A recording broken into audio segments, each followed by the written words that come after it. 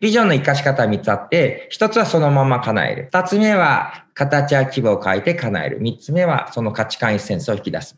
多くの人が夢なんか描いてみても、結局叶えないで落ち込むぐらいだったら、夢持たない方がいいって言うんですけど、それは一番しかない発想ですね。二番は、形や規模を変えて変えることも、叶えることもできるし、あとは、えー、その何が良かったか、価値観。まあ、例えば私は何の制約もなかったら、えー、ミスチルの桜井さんになって AP バンクフェスで歌を歌いたいんだけど、そもそも歌が下手だから問題外ですよね。でもそれの何がいいかって言ったら、たくさんの人に関関わって、その人に希望と勇気を与えて、まあ、感動の涙を与えて、よし、明日から頑張ろうって言えば。だったら、えー、コーチングライブでたくさんの人をコーチングすればいいんじゃないかって思いで、えー、10年ぐらいやってきて、えー、そこもちょっとね、限界を感じつってきて、まあ、去年あたりから、こんな風に減変とかで皆さんが関わる先の人たちが影響を与えるばかりじゃなく、トップ層の人に個人コーチングして、そしてその人たちがさらに影響を与えることで、結果的には、あの、何万人何十万人の人を人生変えるっていうふうに、まあ同じ価値観なんだけど、何を持って満たすかはどんどん変わってっていいわけです。私自身去年大きく変化しました。これが4番、3番目ですね。まあこんなふうにね、えー、具体的なシーンとかエピソードとかスケジュールで書いていく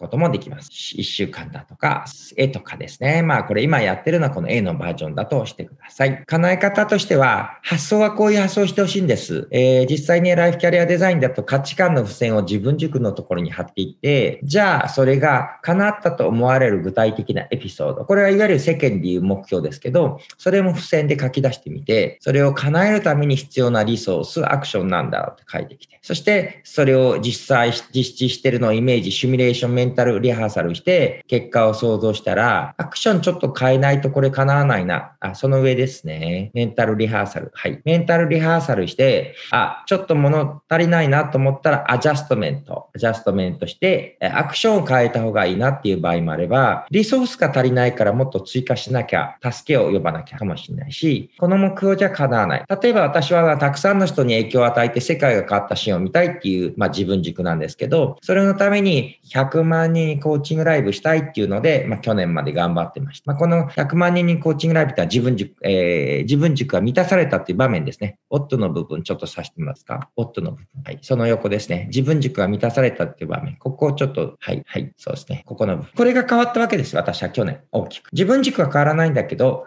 えー、っと、えー、100万人にコーチングライブっていうのから、まあ、減変、そしてトップ層っていうして、出来事ベースが変わった。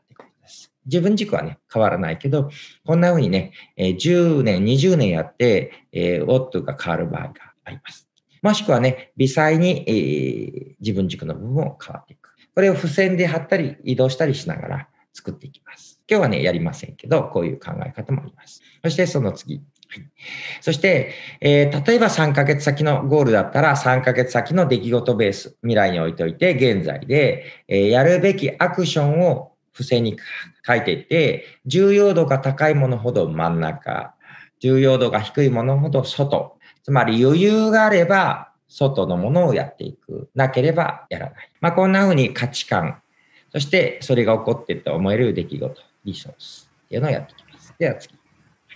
ライフキャリアにやった人は覚えてます。真ん中にあるものは絶対やるべきこと、両サイドは余裕があれば。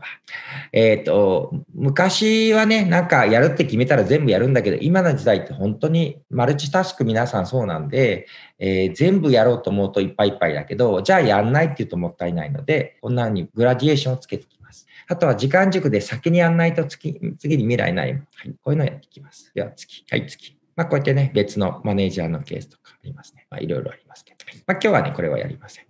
で、こうやって仕分けシート、飛びしすぎましたね。はい、そこですね。えー、全部自分でやんなきゃと思わずやらないとか、頼むとか、先送りやるつもあります。えー、行動の時にポイントは、できるだけ苦痛でなくすってことです。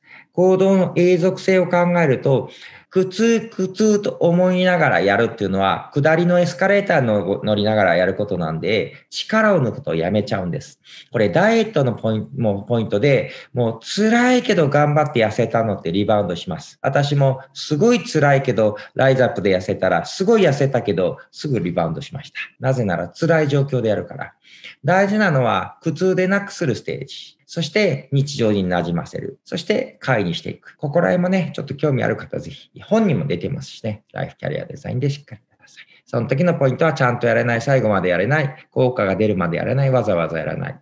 例えばね、1、えー、1回30分とか1時間筋トレして、週3回筋トレやれたとしたら、すごい成果が出ます。そういうエビデンスも出ています。でも、それやんなきゃと思って全然やらないぐらいだったら、適当に1日3分を毎日続けてる方がいいと思いませんか？なぜなら、やろうと思ってできなくなっちゃうぐらいだったら、続いてることの方が大事だから。で、実際私は本当に、えー、スクワットを本当に2回とかそんなんで終わりでした。でも、毎日続けられてるっていう自信になって、その、それが4回になり、今は3、40、30種目ぐらいの毎朝2セットずつやります。効果としてはないです。ただ、体が常に動いてる、運動できてる、続けられてるんだって自己肯定感が上がるし、結局、本当にたまにね、結構がっつり系の、えヨガ行った時、やっぱやれちゃうんですよ。やっぱり基礎体力ついてるんでしょうね。で、そうなってくると、どんどん今、ハマるで、えー、高み目指していく。チャンネル登録お願いします。